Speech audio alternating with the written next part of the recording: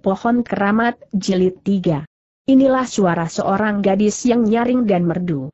Ternyata Tongcu perkumpulan Ang Mokau ini adalah seorang wanita. Kau belum memberitahu, mana ku tahu, berkata Tan Chiu. Aku ingin mengajukan pertanyaan berkata gadis di dalam joli. Mengapa kau tidak mau keluar dari jolimu Tan Chiu sangat sombong, aku tidak ingin memperlihatkan muka, malu Tan Chiu mengeluarkan suara dari hidung. Mungkinkah bengkak sebelah dua gadis pelayan melesat, dengan suara marah mereka membentak. Berani kau menghina tongcu kami dan mereka pun menyerang pemuda yang angkuh dan sombong itu. Minggir, terdengar suara bentakan dari dalam joli. Dua gadis pelayan membatalkan serangan mereka, gerakan-gerakan para gadis pelayan berbaju merah ini gesit luar biasa. Tan Chiu yang menyaksikan gerakan-gerakan itu terkejut, tidak disangka, pelayan orang di dalam Joli mempunyai ilmu kepandaian hebat, entah bagaimana ilmu kepandaian Tongju itu.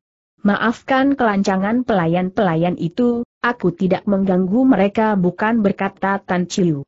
Kau belum menjawab pertanyaanku aku tidak ingin memperlihatkan wajahku kepadamu. Bukan karena malu atau sebab-sebab lainnya, kau menyuruh orang mengundang, tapi tak mau memperlihatkan diri, apa maksudmu mengadakan tanya jawab seperti ini pun boleh, bukan? Tentu saja boleh. Terlebih baik lagi, bila kita dapat bicara dengan berhadapan muka jangan genit, aku tahu bahwa kau bukan seorang lelaki yang gila wajah cantik, Tan Chiu bungkam.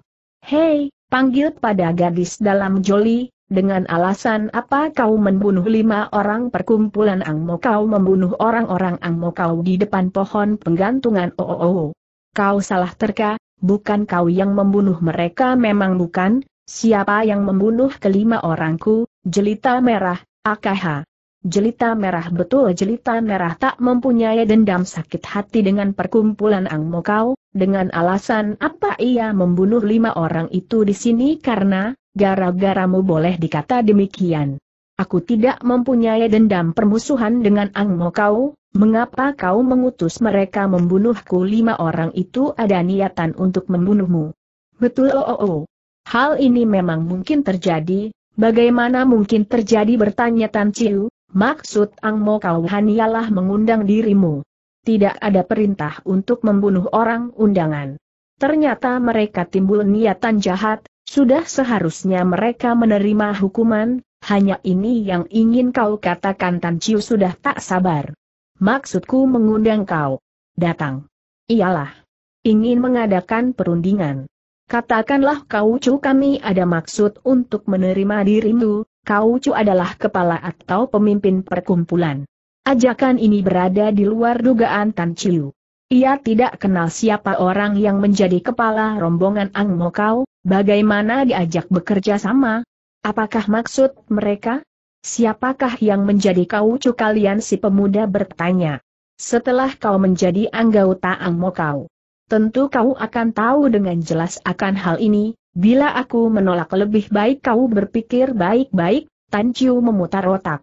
Memang tidak ada akal untuk mengatasi soal ini cepat, Mungkin aku dapat menerima ajakan kau cumu, akhirnya ia berkata. Syukurlah, tetapi dengan syarat, syarat. Apakah syarat yang kau ajukan gadis di dalam joli kukuh tidak mau menampilkan diri? Beri keterangan tentang pohon penggantungan, siapa orang yang menciptakan pohon maut itu? Di mana kini ia berada? Pertanyaan si pemuda menyulitkan itu Tong Cuanita dari perkumpulan Ang Mokau tidak sanggup bertanya Tan Chiu. Baiklah, akhirnya gadis di dalam joli berkata. Sudah sepatutnya bila kau diberitahu, hampir Tan Chiu lompat girang, sungguh di luar dugaan, bahwa soal yang sulit ini dapat diselesaikan dengan mudah. Mengikutikah ia mengetahui pasti siapa dan di mana pencipta pohon penggantungan? Dugaannya segera diperkuat oleh tafsiran-tafsiran lamanya, tentu orang-orang Ang Mokau yang memegang peranan pohon penggantungan. Bila tidak, mana mungkin dapat memberi jawaban ini? Keadaan sepi lama, Tan Chiu membuka suara. Katakanlah, apa yang harus kukatakan siapa pencipta pohon penggantungan pertanyaan ini akan dijawab oleh kau Chu pribadi, berkata gadis di dalam joli, Kau tahu pasti bahwa kau cu kalian itu dapat memberikan jawaban yang memuaskan. Bila tidak memuaskan, kau boleh menolak tawarannya bukan Tan Chiu dapat menerima saran si gadis di dalam joli. Bila ia tidak mendapat jawaban tentang pohon penggantungan, tentu ia tidak mau masuk perkumpulan itu. Hal lainnya yang menambah keinginannya bertemu dengan ketua Ang Mokawi Allah dendam permusuhan yang telah terjadi antara perkumpulan itu dengan gurunya. Baiklah, ia menerima ajakan orang. Mari turut di belakang, berkata gadis di dalam joli. Dengan satu perintah lain, dua pelayan berbaju merah menggotong joli dan berangkat. Tiba-tiba, Telinga Tan Chiu yang mengikuti Joli itu dapat menangkap satu suara yang seperti nyamuk bicara itulah suara orang yang menyampaikan kata-kata dengan saluran tekanan gelombang tekanan tinggi. Kau telah masuk ke dalam perangkapnya si ular golis, Tan Chiu memeriksa keadaan di sekelilingnya. Tidak terlihat orang yang memberi pesan kata-kata ini. Ternyata gadis di dalam Joli mempunyai julukan ular golis, Ular cantik bagaimanakah yang mendapat julukan seperti itu? Hasratnya untuk membongkar rahasia pohon penggantungan tidak dapat ditahan. Niatannya untuk bertemu dengan Kanu Chuang Mokau semakin hebat. Biarpun telah dapat peringatan, ia tidak menghentikan langkah kakinya dan mengikuti jolisi ular golis yang digotong oleh dua pelayannya. Ia segera mengajakmu masuk ke dalam lembah iblis merah, tempat yang menjadi sarang markas besar Ang Mokau, orang yang mengirim suara dengan tekanan suara gelombang tinggi itu berdengung lagi. Bila sampai di markas besar mereka, jangan harap kau dapat keluar lagi, ilmu kepandaian Tan Chiu telah mencapai taraf kelas 1, ia pun dapat menggunakan ilmu Toan Im Jip Bit atau mengirim suara dengan tekanan gelombang tinggi. Maka ia membalas peringatan orang dengan suara yang sama. Kau Cuang Mo kau tidak tahu siapa yang menjadi pencipta pohon penggantungan kegunaan mengirim suara dengan gelombang tekanan tinggi jelas tidak dapat didengar oleh orang ketiga. Dua kali orang itu memberi peringatan kepada Tan Chiu, kemudian mendapat balasan dari si pemuda yang mengajukan pertanyaan itu dengan menekan suara yang sama, hal ini tidak dapat didengar oleh gadis di dalam jolisi ular golis dan dua pelayannya. Ia tidak tahu berkata orang yang memberi peringatan. Ku tahu pasti bahwa maksud si ular golis menerima baik syaratmu yaitu memancing kau masuk ke dalam lembah iblis merah. Percayalah keteranganku. Tan Chiu dapat diberi mengerti. Hal ini memang bukan tak mungkin sama sekali, kecuali bila orang yang memberi perintah itu bermaksud tujuan lain, ada udang di balik batu. Siapakah orang yang memberi peringatan kepadanya sehingga lebih dari satu kali? Suara Toan Injit Bit atau ilmu menekan suara yang disalurkan kembali dengan tekanan suara bergelombang tinggi itu tidak mudah dibedakan. Mungkin lelaki dan mungkin pula suara perempuan. Tetapi dari logat dan laga-laga yang berirama enak, tentunya seorang wanita. Orang yang dapat membela dirinya hanya beberapa orang kakek aneh Suhek dan sastrawan setengah umur itu seperti berada di pihaknya. Bila wanita, kecuali cia-cianya yang sudah mati, orang kedua ialah gurunya. Tan Seng sudah mati. Hal ini pasti. Mungkinkah sang guru dengan sebutan seram si putri angin tornado itu? Tan Chu memandang ke arah datangnya suara pemberitahu itu. Hal ini menimbulkan kecurigaan si ular golis di dalam joli. Eh, Kau sedang mengapa si gadis di dalam Joli mengajukan pertanyaan? Tan Chiu mengkerutkan kedua alisnya. Kini diketahui pasti bahwa orang yang memberi peringatan itu bukanlah gurunya. Logat-logat dan irama suara sang guru telah dikenal baik. Bukanlah suara tadi. Mengikuti petunjuk orang itu atau terima mengikuti si ular golis masuk ke dalam lembah iblis merah. Besar kemungkinannya bahwa ketua Ang Mokau itu musuh besar sang guru. Sebagai seorang murid yang mengenal budi, mati pun ia harus membela kepentingan gurunya, ia wajib mengetahui bagaimana menjadi perseteruan di antara mereka. Di dalam keadaan seperti ini, soal pohon penggantungan boleh diurus setelah selesai ia bereskan lawan garunya.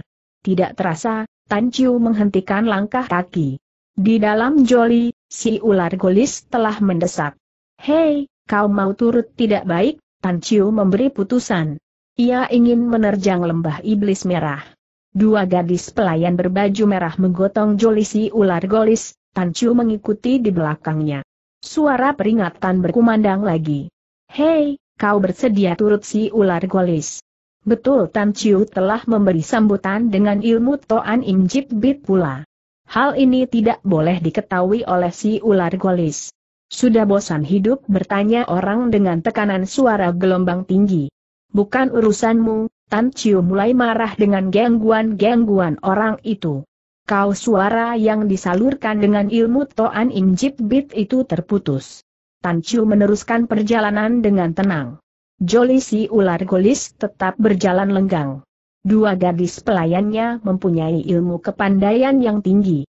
Tentu saja ia merasa enak dan nyaman. Tiba-tiba satu bayangan putih menghadang di tengah jalan, inilah jalan yang akan dilewati oleh Jolisi ular golis. Dua gadis pelayan berbaju merah menghentikan langkah mereka. Dilihatnya seorang gadis berbaju putih sudah menghadang perjalanannya. Tan Chiu mempunyai mata tajam, Segera dikenali siapa bayangan putih yang menghadang di tengah jalan itu. Aa, ia mengeluarkan suara tertahan. Itulah wanita berbaju putih yang bernama Choyong Yen, orang yang mengaku sebagai istri si cendekiawan serba bisa tunglip, kau ia menghadapi Choyong Yen. Orangkah yang sedang dihadapi? Atau arwah Choyong Yen yang sudah dikatakan mati? Betul, aku, gadis berbaju putih itu membenarkan kata-kata si pemuda. Dua gadis pelayan berbaju merah tidak berani mengambil putusan. Mereka memandang Tan Chiu dan si penghadang jalan yang sudah hadap berhadapan. Hai, kau ingin mencari diriku, bukan? Bertanya Choyong Yin kepada si pemuda. Tan Chiu masih meragukan keaslian manusianya orang ini. Ia tidak dapat bicara. Hai, Panggil Choyong Yen lagi di sini ada dua jalan, mana yang kau pilih? Ikut dia atau aku ternyata orang yang memberi peringatan sampai berulang kali dengan suara gelombang tekanan tinggi itu adalah gadis berbaju putih ini. Kecuali si cendekiawan serba bisa tunglip, keenam kawan lainnya telah binasa. Dan si baju putih itu diragukan sebagai istri tunglip yang telah lenyap. Dapatkah Tan Chiu melepaskan dirinya begitu saja? Tentu tidak. Perkumpulan Ang Mokau seperti mempunyai sesuatu dendam permusuhan dengan Putri Angin Tornado untuk mengetahui keterangan yang lebih jelas, sudah tentu harus pergi ke lembah iblis merah. Untuk pergi ke dalam iblis merah, sudah tentu saja harus mengikuti si ular golis. Relakah Tan Chiu membiarkan ular golis pergi tanpa diikuti oleh dirinya? Tentu tidak. Tan Chiu menjadi bimbang dan ragu-ragu. Ia tidak menjawab pertanyaan Chow Yong Yin. Chow Yang Yin maklum hal ini, ia telah memberi peringatan beberapa kali. Pemuda itu tidak mau mendengarnya. Kini ia menampilkan diri dengan harapan dapat memancing pergi Tan Chiu, agar pemuda itu tidak turut si ular golis, dan masuk ke dalam lembah iblis merah. Menyaksikan keadaan Tan Chiu yang serba susah, Chow Yang Yen melangkah pergi. Tan Chiu membentak. Berhenti, Chong Yang Yen menolehkan kepalanya, ia memberikan senyuman manis. Hanya sebentar saja, kemudian melanjutkan langkahnya pergi menjauhi pemuda itu.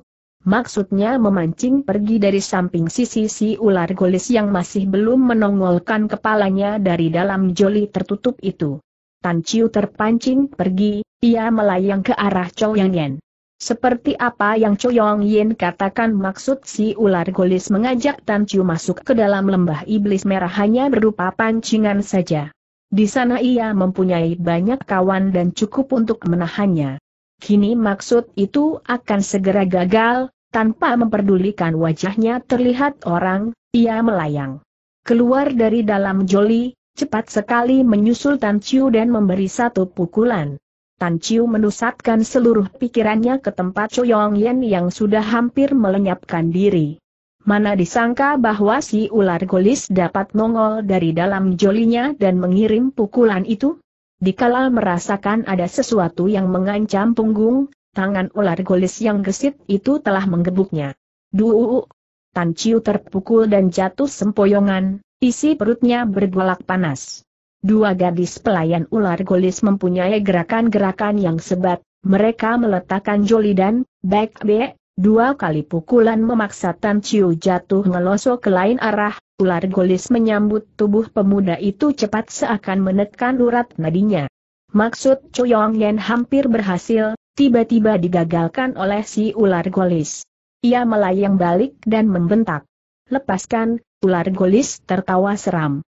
Kau mengharapkan kematiannya ia memperlihatkan urat nadi Tan Chiu yang sudah berada di dalam kekuasaannya. Wajah Choyong Yen menunjukkan hawa pembunuhan. Ia menghampiri ular golis yang menggendong tubuh Tan Chiu. Dua gadis pelayan berbaju merah menyela keluar, mereka membela majikannya. Choyong Yen tidak berdaya. Tan Chiu sadar apa yang telah menimpa dirinya. Mengapa ia begitu lengah, tak membuat penjagaan kepada si ular golis itu? Kini segala apa pun telah terlambat. Ia berada di bawah kekuasaan Tong Chu Ang Mokau tersebut. Ia membuka kedua matanya, terlihat seorang gadis yang sangat menggendong dirinya. Sayang hati gadis ini melebihi ular jahatnya, julukan si ular golis memang paling tepat. Ular golis, ia mengoceh, kau memang seorang ular yang cantik si ular golis tertawa puas.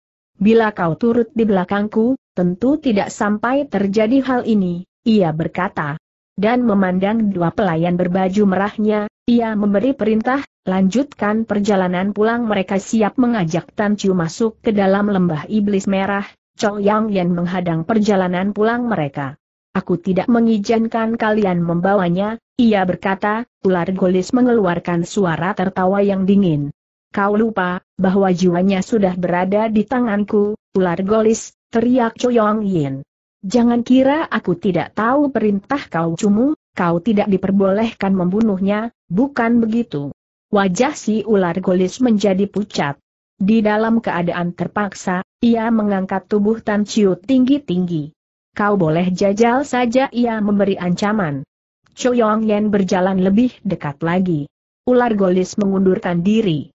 Dua gadis pelayan berbaju merah bergerak maju, mereka memukul dan menghantam Choyong Yen. Gadis berbaju putih itu menggerakkan tangannya, cepat sekali, entah bagaimana ia telah berada di belakang dua. Lawannya, terdengar dua kali jeritan, dua pelayan si ular telah berhasil dirobohkan. Choyong Yen hebat. Hanya di dalam satu jurus, ia membunuh dua gadis pelayan berbaju merah yang mempunyai ilmu kepandaian tinggi. Suatu hal yang berada di luar dugaan Tan Chiu. Juga di luar dugaan si ular golis. Kau tidak mau meletakkan dirinya Coyong yang maju dan mengancam. Si ular golis mundur lagi. Jalan darah kematian Tan Chu masih tidak dilepas olehnya. Turunkan tubuhnya, Chow Yang Yan memberi ancaman yang kesekian kalinya. Bila aku tidak mau, bagaimana ular golis berkepala batu? Aku dapat membunuhmu, tahu Chow Yang Yan mengancam. Apakah akibatnya dengan tubuh ini ular golis mengandalkan tubuh Tan Chiu sebagai pegangan? Inilah akibatnya, Chow Yang Yen membentak. Tubuhnya melesat dan menotok jalan darah si ular golis. Gerakannya sungguh cepat. Lebih cepat beberapa kali dari gerakan-gerakan dua pelayan si ular golis. Ular golis tidak menyerah mentah-mentah. Dengan sebelah tangan menggendong Tan Chiu ia memukul totokan lawan dengan sebelah tangan lainnya. Di saat yang sama, Choyong Yen telah mengirim serangan yang kedua. Ular golis tidak mungkin dapat menghindari serangan itu di dalam keadaan terpaksa, ia melemparkan tubuh Tan Chiu ke arah lawannya. Tan Chiu menjerit sakit, ternyata ular golis menurunkan tangan jahat kepada pemuda itu. Kepandaian Choyong Yen memang luar biasa bagaimana cepat pepun si ular golis tetap tak dapat mengimbangi kecepatan lawannya. Dar. Dari mulutnya ular golis yang kecil mungil itu memuntahkan darah merah tubuhnya melayang jatuh. Tiba-tiba terlihat suatu bayangan merah menyambuti tubuh ular golis yang terluka, kemudian, tanpa membuat perhitungan kepada orang yang melukainya, penolong ular golis itu melayang pergi dan melenyapkan diri. Choyong Yen tidak mengejar. Matanya memandang wajah Tan Chiu yang sudah hampir mau mati. Cepat sekali ia menggerakkan jarinya menotok beberapa jalan darah penting. Dan membawa tubuh luka itu ke arah rimba. Mendadak. Satu suara dingin membentak Choyong Yin. Berhenti mendengar suara ini wajah Choyong Yin menjadi pucat, ia tahu siapa yang telah tiba. Langkahnya terhenti segera. Seorang wanita berparas cantik, dengan mengenakan pakaian warna hitam telah tampil di sana. Wanita berbaju hitam inilah yang membentak Choyong Yen tadi. Dia wanita berbaju hitam itu menunjuk ke arah Tan Chiu. Choyong Yen menganggukkan kepala. Apa yang ingin kau lakukan bertanya, wanita berbaju hitam. Maksudku, menolong dirinya betul, lebih baik jangan, tapi, tapi ia luka parah, segera letakkan dirinya dan ikut aku pulang, bentak lagi wanita berbaju hitam itu. Biar bagaimana, aku harus menolongnya dahulu, Chow Yang Yen menjadi bandel. Berani kau melanggar perintah tolong. Tolonglah dirinya, mati hidupnya orang itu tidak ada hubungan dengan kita, aku. Aku tidak dapat membiarkan ia begini air mata mengucur keluar dari kelopak mata Choyong Yin. Wanita berbaju hitam menghela napas panjang-panjang. Bibi Kang, tolonglah, Cho. Yang Yen. Masih memohon. Seharusnya kau jangan turut campur, tetapi keadaan telah menjadi seperti ini. Tidak mungkin ia berterima kasih kepadamu, berkata wanita berbaju hitam itu. Aku tidak mengharapkan terima kasihnya, Chow Yang Yen kukuh. Baiklah, Aku tidak mau campur tangan wanita berbaju hitam itu sangat sayang Choyong Yin. Bibi Kang, jangan kau beritahu kepada Pocu-Pocu berarti kedua benteng, seorang yang menguasai pucuk pimpinan tertinggi di dalam suatu daerah. Bila ia tahu hal ini tidak mungkin berkata Choyongen asal saja Bibi tidak membongkar rahasia baiklah wanita berbaju hitam itu akhirnya mengalah. Tapi ingat, Jangan memberi keterangan sesuatu tentang kita, aku tahu, bila sampai ia tahu. Aku pun tidak sanggup membelamu. Terima kasih, wanita berbatu hitam itu melayang pergi, meninggalkan Choyong Yen dengan Tan Chiu yang masih terluka parah. Choyong Yen menyusut air matanya, ia membawa Tan Chiu ke lain arah, ia harus mengobatinya segera. Di sebuah kelenteng yang sudah rusak, pada ruang teagah yang sudah tidak digunakan orang menggeletak tubuh Tan Chiu yang luka. Choyong Yen telah memberikan pertolongan yang secukupnya. Beberapa lama kemudian, Tan Chiu membuka matanya. Dua kali ia menderita luka, dua kali ditolong oleh wanita. Tidak jauh dari mana ia berada, terlihat suatu bentuk tubuh yang diselubungi oleh kain putih, itulah Choyong Yen. Choyong Yen memandang alam jauh, Pemandangan di sore hari agak tidak serasi dengan keadaan di waktu ini. Mendengar suara kerseknya Tan Chiu taulah ia bahwa pemuda itu telah sembuh, ia membalikan kepalanya, menoleh ke arahnya. Tan Chiu sedang memperhatikan segala gerak-gerik wanita itu. Dua pasang mata beradu. Choyong Yen mengalihkan pandangan mata, ia menyerah. Bagaimana dengan keadaan lukamu ia mengajukan pertanyaan. Suaranya merdu, seolah-olah seorang kekasih yang sedang memperhatikan keadaan si jantung hati. Terima kasih, berkata Tan Chiu perlahan. Choyong Yen memandang ke tempat jauh lagi ia berusaha menghindari sinar mata si pemuda, atas jasa baikmu yang menyembuhkan dan menolong diriku, suatu hari pasti ku balas. Berkata Tan Chiu lagi. Aku tidak mengharapkan pembalasanmu, berkata Choyong Yan bolehkah aku mengajukan beberapa pertanyaan bertanya Tan Chiu. Aku tahu, apa yang kau ingin ketahui dariku. Kau tahu aku dapat menduga, coba kau katakan, apa yang ingin ku ketahui, kau ingin mengetahui, betulkah aku istri Tunglit, bukan salah satu pertanyaan yang terakhir, berkata Tan Chiu. Kau ingin menanyakan tentang pohon penggantungan, Betul kau ingin tahu bagaimana kematian Ciciemu ya? Wajah Choyong yang menunjukkan rasa sedih. Mengapa kau ingin bertanya tentang soal-soal di atas itu? Ia berkata. Mengapa tidak boleh? Kau tidak bersedia menjawab betul, cicilku mati digantung orang, mengapa aku tidak boleh tahu bukan tidak boleh tahu.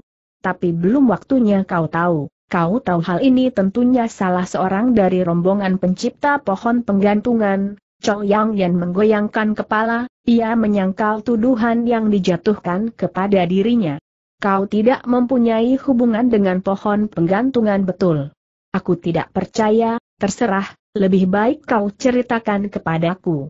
Agar aku tidak melakukan sesuatu yang tidak baik, apa yang ingin kau lakukan kau tidak bersedia memberi keterangan aku, aku tidak dapat, baik. Ingin ku ketahui pasti, Betul kau istri Tunglip jangan kau bertanya lagi di mana sastrawan serba bisa itu berada, tidak tahu, kau tidak mau memberi keterangan tidak ada yang dapat ku berikan, kau memaksa aku menggunakan kekerasan wajah Chow Yan Yan menunjukkan rasa bingungnya. Mana mungkin pemuda ini memukul orang yang pernah membela dirinya? Aku tidak dapat, ia berkata. Kau mencari mati, bentak Tan Chiu. Tangannya bergerak memukul gadis itu. Heek. Cho Yong Yen menerima pukulan si pemuda, tubuhnya bergoyang-goyang, pukulan itu hebat luar biasa. Tan Chiu terbelalak.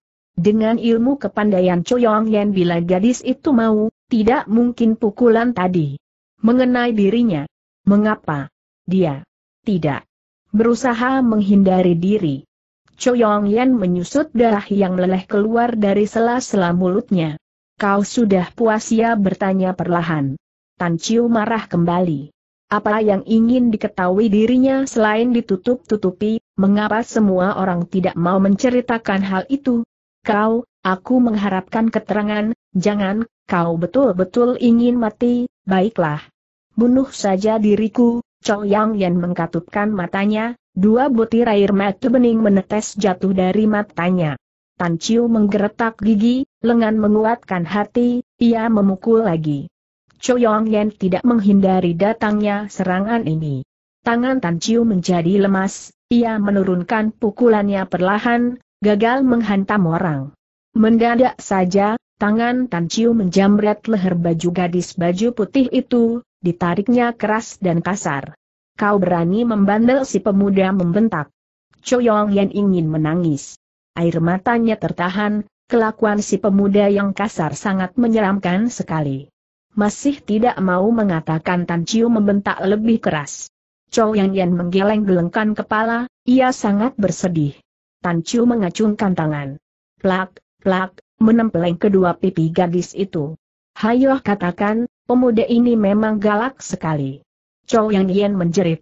Mengapa kau memperlakukan aku seperti ini kau harus mengatakan rahasia pohon penggantungan, kau tidak memahami kesulitan orang, jangan memaksa aku menggunakan cara yang lebih keras atau lebih kejam lagi Choyong Yen menarik napas. Baiklah.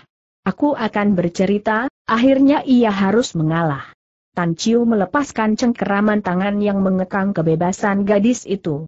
Nah, katakanlah, Bagaimana hubungan si cendekiawan serba bisa tunglip si pemuda mengajukan pertanyaan pertama. Wajah Choyong Yen menjadi biru, ia kecewa atas perlakuan pemuda itu kepada dirinya, keterangan yang menekan batin hampir memecahkan urat serapnya. Tiba-tiba ia tertawa. Apa yang ditertawakan Tan Chiu membentak. Tan Chiu, panggil Choyong Yen. Sebelum menjawab pertanyaanmu, ada sesuatu yang harus kau ketahui. Lekas katakan, harus kau ketahui, akibat dari pembocoran rahasia ini, seorang di antara kita berdoa pasti ada satu yang mati, seorang di antara kita, ada satu yang akan mati Tancu mengulang peringatan aneh itu. Betul. Salah satu dari jiwa kita harus dikorbankan tidak ada tawaran lain pikirlah sekali lagi. Relakah kau mengorbankan dirimu, atau dari Kutan Ciu harus memperhitungkan pasal yang baru bila membiarkan gadis itu binasa karena membongkar rahasia pohon penggantungan tentu keterlaluan. Membatalkan desakannya? Itu pun tidak mungkin, rahasia pohon penggantungan sudah waktunya untuk dibuka. Tan Ciu mengeraskan hati ia bersedia mengorbankan jiwanya. Hal ini untuk ketenangan dunia, untuk memusnahkan bahaya pohon penggantungan. Baik. Aku yang berkorban Tan Chiu memberi putusan. Bila korban yang ditunjuk bukan dirimu, kau sendiri yang dimaksudkan betul. Bila permintaan korban menghendaki jiwaku, bagaimana gadis itu memandang si pemuda tajam-tajam? Tan Chiu tersentak kejut, hatinya gemerinding dingin.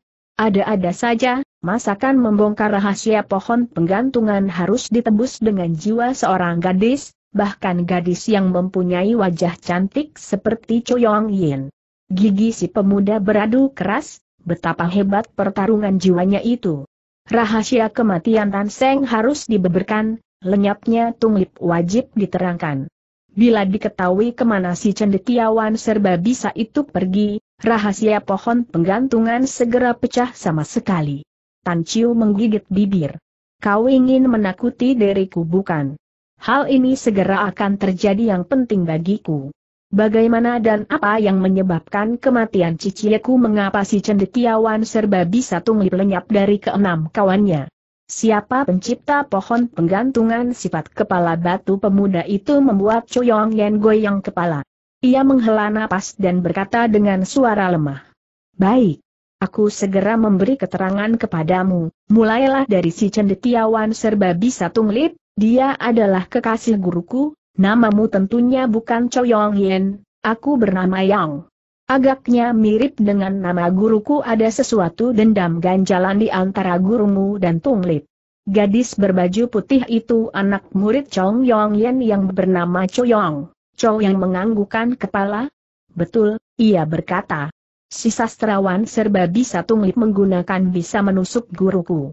Kemudian getah kejahatan dilempar kepada orang lain dan mengatakan kepada kawan-kawannya, bahwa kekasih itu dibunuh orang, inilah alasan gurumu membunuh tunglip di rimba pohon penggantungan bukan. Guruku tidak membunuhnya membawa kekasih lama. Itu. Ke dalam. Benteng penggantungan. Benteng penggantungan lagi-lagi sebuah nama yang seram. Tan Chiu membelalakan mata lebar-lebar benteng penggantungan ia kurang percaya, setelah ada pohon penggantungan masih disusul dengan nama benteng penggantungan. Hal ini bukanlah soal kebetulan. Dua tempat itu pasti mempunyai hubungan yang erat, Chow yang menganggukkan kepala. Kepala benteng penggantungan inilah tentunya yang menciptakan pohon penggantungan, Bukan menurut keterangan guruku benteng penggantungan tidak mempunyai sangkut paut dengan pohon penggantungan, lagi-lagi keterangan yang berada di luar dugaan. Yang satu pohon penggantungan lainnya benteng penggantungan mungkinkah tidak ada hubungan sama sekali? Mungkin Coyong. Tidak. Tahu. Rahasia. Benteng penggantungan. Mengapa Choyong Yen memilius semua orang di bawah pohon penggantungan dan menyelik si cendekiawan serba bisa tunglip, membawanya ke dalam benteng pengganti. Choyong Yen yang kita sebut kali ini adalah Choyong Yen asli, guru si gadis baju putih Choyong. Masih ada pertanyaan yang kau ingin ajukan bertanya Choyong. Di mana letak benteng penggantungan Tan Chiu bertanya. Chow yang memandang wajah Tan Chiu dengan penuh perasaan takut, seperti apa yang telah diduga pada sebelumnya, pemuda itu pasti mengajukan pertanyaan di atas dari sudut-sudut kebandelan Tan Ciu mana mungkin ia tidak mendatangi benteng penggantungan?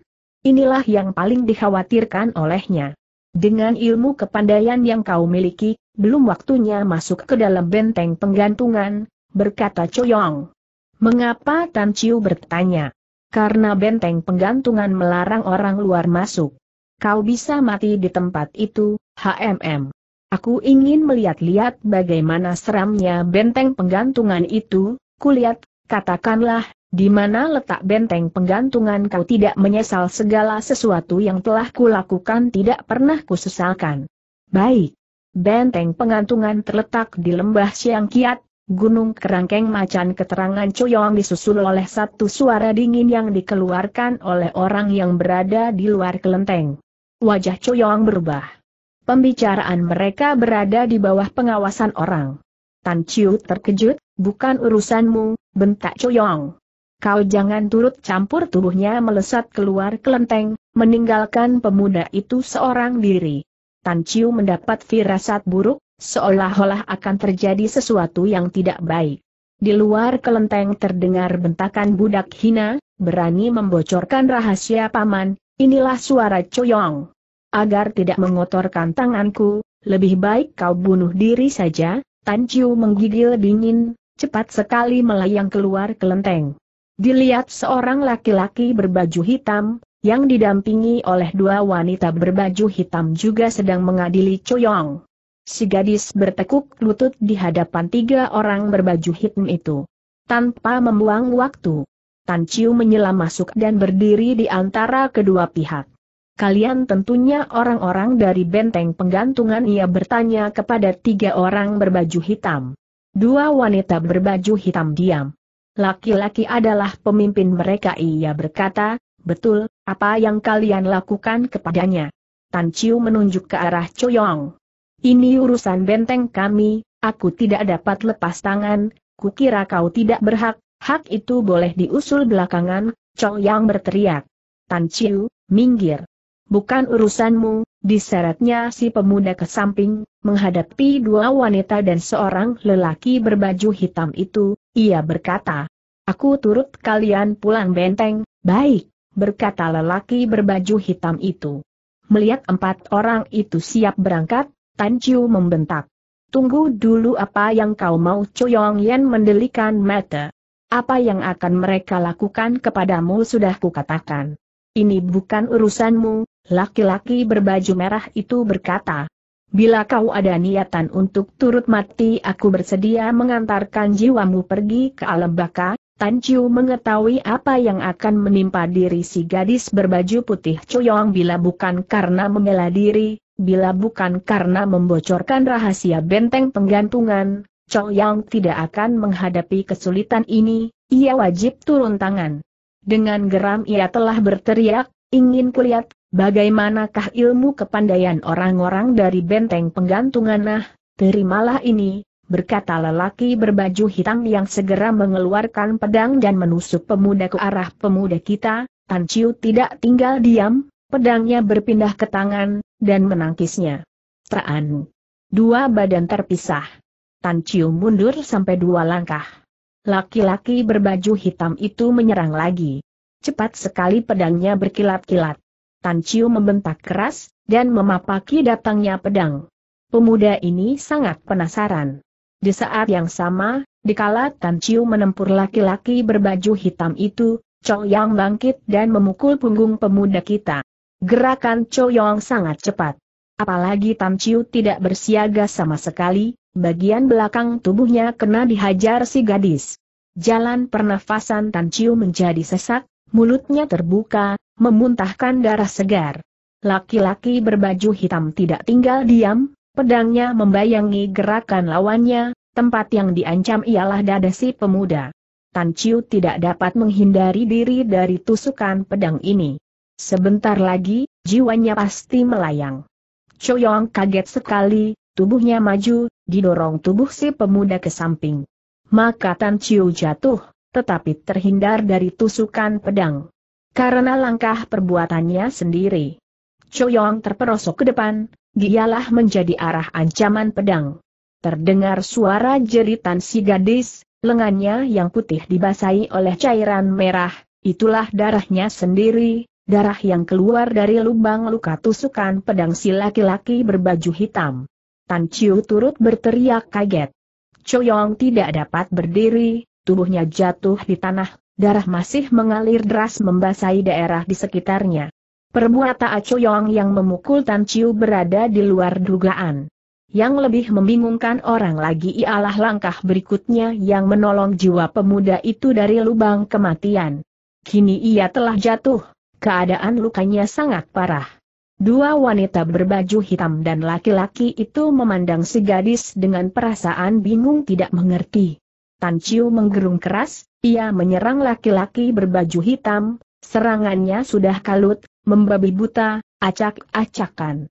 Melayang turun satu bayangan merah langsung bergumul dengan laki-laki berbaju hitam dari benteng penggantungan. Terdengar suara napas seseorang yang menerima hantaman, tubuh laki-laki berbaju hitam ini jatuh ke belakang. Di sana telah bertambah seorang gadis berbaju merah itulah si jelita merah. Aa, Tan Chiu mengeluarkan suara teriakan tertahan. Lagi-lagi gadis ini menolong dirinya. Dua wanita berbaju hitam maju mengeroyok jelita merah tiga orang ini bergulat dengan kemenangan. Chow yang menggeletak di tanah, mengambang di atas darah merah. Tan Chiu sangat terbaru, dengan sisa tenaga yang masih ada, ia menubruk tubuh gadis itu. Nona Cho, Cho yang membuka matanya, ia belum mati. Dua butir air mata meleleh keluar. Tan Chiu memanggil dengan suara yang gemetaran Nona Cho, Cho yang membuka mulutnya, menggerak-gerakan bibir agaknya ia hendak mengucapkan sesuatu, tetapi tidak terdengar suara yang keluar dari mulut mungil kecil itu. Lukanya terlalu hebat, ia terlalu banyak mengeluarkan darah. Gadis itu sudah hampir mati, Tan Chiu turun mengucurkan air mata kesedihan. Karena ia yang memaksa orang. Maka gadis itu menerima kematian yang menyedihkan. Kau, mengapa, kau menangis terdengar suara Coyong bicara. Aku telah menyusahkanmu, kau, menyesal. Bukankah? Bukankah kau tidak pernah menyesal atas segala perbuatan yang telah lakukan air mata? Tan Chiu mengucur semakin deras. Apa yang harus kulakukan kepadamu? Ia berkata dengan suara sember. Aku, aku, benci kepadamu, berkata Choyong. Kau, kau telah menghancurkan hidupku, apa yang gadis itu katakan memang beralasan, Bila bukan karena Tan Chiu yang muncul tentunya ia tidak menerima kematian ini, suara bentakan-bentakan dari tiga orang yang bertempur telah sampai pada tingkat terakhir. Terdengar satu suara jeritan, seorang wanita berbaju hitam telah menjadi korban tangan si jelita merah. Tan Chiu tidak sempat memperhatikan jalan pertempuran itu. Terdengar lagi suara jeritan lain, Seorang wanita berbaju hitam lagi telah mati dipukul oleh gadis baju merah itu. Laki-laki baju hitam dengan pedang di tangan maju membentak. Hai, kau berani membunuh orang. Benteng penggantungan? Ha, ha. Aku jelita merah belum pernah takut orang, laki-laki baju hitam itu mundur setengah langkah, nama jelita merah menggetarkan hatinya. Kau, kau yang bernama jelita merah, kau berani melawanku laki-laki berbaju hitam membalikan badan, tubuhnya melayang dan lari ngabrit, tanpa memandang dua jenazah kawannya lagi. Jelita merah mendapat kemenangan mutlak. Lagi-lagi ia merenggut dua jiwa manusia. Tan Chiu dan Choyong hadap berhadapan, mereka mengucurkan air mata. Jelita merah tidak mengejar laki-laki berbaju hitam yang telah melarikan diri. Ia memeriksa dua wanita berbaju hitam, mereka sudah tidak bernapas. Tangisan Choyong dan Isak Tan Chiu terdengar olehnya. Hektometer. Seorang laki-laki mengucurkan air mata ia mendekati dua orang itu. Tan Chiu membalikan badannya. Pergi, eh, kau galak jelita merah maju semakin dekat. Pergi. Aku benci kepadamu berkata Tan Chiu. Hawa pembunuhan mengarungi wajah jelita merah, ia mengeluarkan suara tertawa yang sangat tajam. Jangan lupa bahwa jiwa kalian berada di tanganku. Bila bukan aku yang menolong, kau kira masih hidup sampai saat ini? Ia tertawa. Budimu akan kubalas di kemudian hari berteriak Tan Ciu. Jelita merah memandang mereka bergantian. Kekasihmu ia bertanya kepada Tan Ciu. Bukan urusanmu, si pemuda membentak. Wajah jelita merah berubah. Kau tidak kenal Budi, ia berkata marah. Dapatkah kau melanjutkan perjalananmu? Tan Chiu mulai memohon. Aku tidak mau pergi, berkata jelita merah. Apa yang dapat kau lakukan kepadaku Tan Chiu tidak bicara. Ia menggendong tubuh Choyong yang telah mandi darah itu. Mengambil lain arah, ia meninggalkan si jelita merah. Satu bayangan berkelebat. Jelita merah menghadang kepergian si pemuda. Tan Chiu memperlototkan mata. Apa yang kau mau ia membentak? Eh, hanya beberapa patah terima kasih pun tidak mau kau ucapkan Tan Chiu tidak mempunyai kesan baik kepada gadis berbaju merah tersebut. Hanya lebih dari satu kali, orang menolong dirinya. Bahkan kali ini, si jelita merah telah menolong dua jiwa bagaimana ia tidak berterima kasih. Baiklah. Terima kasih. Bantuanmu tidak dapat kulupakan, ia berkata. Jelita merah tertawa puas. Menuju ke arah Chow yang dia bertanya, kekasihmu. Bila betul, bagaimana? Bila bukan, apa pula, ia segera akan mati Tan Chu menoleh ke arah wajah Choyong. Di dalam pelukannya, Wajah itu pucat pasi, kehilangan darah yang terlalu banyak menyebabkan keadaan Choyong menjadi payah, ia maklum, ajal gadis berbaju putih ini tidak panjang lagi. Seperti apa yang telah kita ketahui, Tan Chiu mempunyai seorang kakak perempuan yang bernama Tan Seng, sifat-sifatnya suka pakaian putih. Sayang Tan Seng sudah tiada, maka bayangan kakak itu jatuh pada Choyong yang suka mengenakan pakaian putih-putih. Kini Choyong segera hampir meninggal, karenanya ia menjadi sedih sekali. Nona Cho. Ia memanggil perlahan. Cho yang mendengar suara panggilan, ia membuka kedua matanya perlahan. Nona Cho, Tan Chiu memanggil lagi. Ia meletakkan tubuh gadis ini di tanah. Kau, sudah, tidak, mau, mengurus, ku terputus-putus Choyong bertanya. Tan Chiu menggoyangkan kepala, aku tidak membiarkan kau mati, ia berkata. Aku, sudah, hampir, mati, jangan khawatir, aku akan berusaha, ke, mati, an, ku, mengganggu, ketenanganmu, Bukan aku akan menghidupkanmu. Tidak, mungkin tanda seru Choyong mengatupkan kedua matanya. Maut sudah dekat sekali. Tan Chiu tidak berdaya. Butiran air mata turun dari kelopak mata pemuda ini. Jelita merah turut dibuat terharu. Ia menghela napas panjang. Kulihat, kau cinta sekali padanya ia berkata. Tidak. Aku hanya bersedih karena kematiannya, bila ia tidak dapat ditolong bagaimana aku akan sengsara seumur hidup, kukira hanya seorang yang dapat menolong dirinya, Tan Chiu tersentak bangun. Kau katakan, ada seorang dapat menolong jiwanya dari kematian ia bertanya. Jelita merah menganggukkan kepala. Siapakah orang itu aku tidak mau menjadi orang tolol, berkata jelita merah tersenyum-senyum. Orang tolol Tan Chiu tidak mengerti kau mempunyai kesan buruk kepadaku, bukan Tan Ciu bungkam. Mengapa harus membantu usahamu berkata lagi si jelita merah. Tan Ciu menjadi marah. Aku tidak percaya tidak ada orang yang dapat menolongnya ia ngambek. Kau tidak tahu bahwa umurnya hanya tinggal beberapa jam saja, berkata jelita merah. Apa yang dikemukakan si jelita merah bukanlah gertakan bohong. Di dalam waktu beberapa jam lagi bila tidak ada orang yang memberi pertolongan atau memberi transfusi darah kepada gadis baju putih itu, Chow Yang pasti mati. Hei, Tan Chin membentak. Kau katakan ada orang yang dapat menolong jiwanya betul. Aku berani menyerahkan apa yang ada, termasuk jiwaku, agar dapat menolong jiwanya, katakanlah, siapa orang itu aku tidak mengharap jiwamu, berkata jelita merah.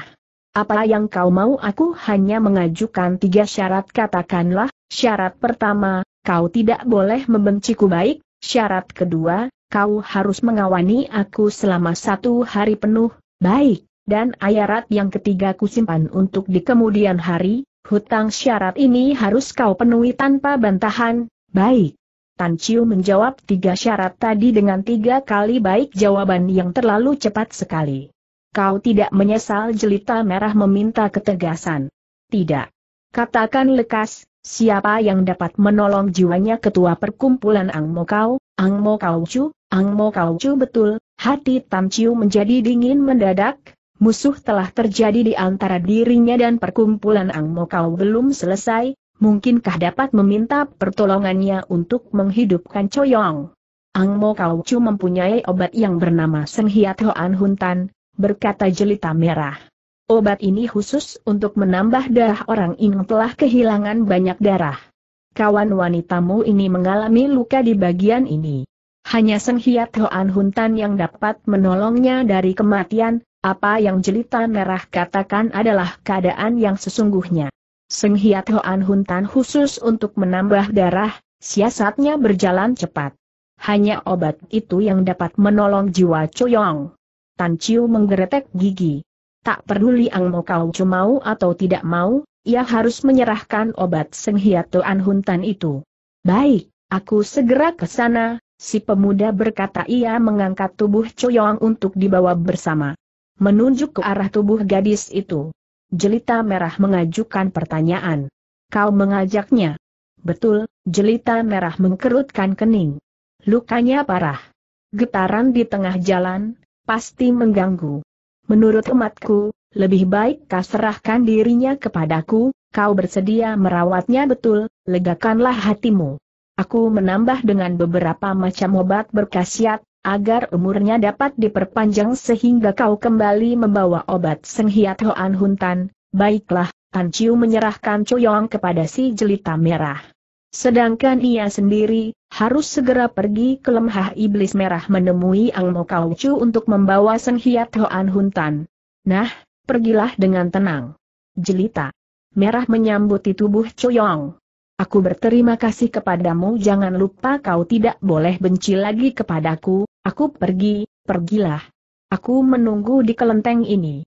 Nanti, aku akan menceritakan sebuah drama sedih kepadamu drama sedih betul, tentang siapa tentang aku dan buruku, baik. Kini aku berangkat, selamat jalan. Tan Chiu tidak bicara. Ia mengeluarkan sebutir obat, dimakannya segera.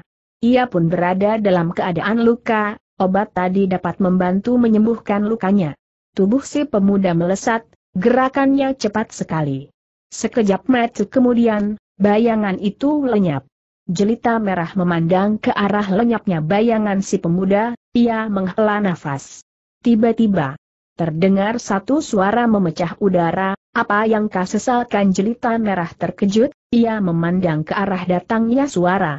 Di sana terlihat seorang kakek berpakaian compang-camping, rambutnya tidak terurus. Itulah si kakek aneh Suhevhek. Suhevhek tertawa bergelak-gelak, hebat, hebat.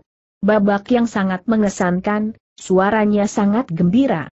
Tua bangka, jelita merah membentak jangan kau mengaco belong ngaco bealo.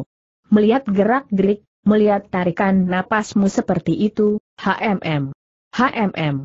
Pasti, kau telah jatuh cinta padanya wajah jelita merah menjadi bersemu dadamu kau ingin menerima tamparan ia mengancam. Kakek itu masih tertawa kau tidak membutuhkan kakek comblang ia bandel. Sekali lagi kau usil mulut, betul-betul aku mengirim tamparan, tahu. Baik, baik. Mulutku tidak boleh usil lagi, kakek aneh Suhevhek memang mempunyai kepribadian yang aneh sekali. Cukup, sekarang memang sudah cukup. Pada suatu hari, bila kau meminta perantaraanku untuk, Suhevhek menutup kata-katanya sampai di situ. Hei bagaimana tugas yang kuserahkan kepadamu bentak jelita merah. Tugas yang mana pohon penggantungan, si cendekiawan serba bisa tunglip, dan jejaknya Tai Kiam Lam, hasil yang kudapat agak kurang memuaskan, katakanlah lekas pohon penggantungan mungkin mempunyai benteng penggantungan, hee. Benteng penggantungan betul. Suatu hari, aku bertemu dengan seorang kawan lama, dikatakan olehnya bahwa di dalam rimba persilatan muncul suatu benteng penggantungan, di manakah letak berbenteng ini belum dapat ku tunglip jatuh ke dalam tangan orang benteng penggantungan. Betul.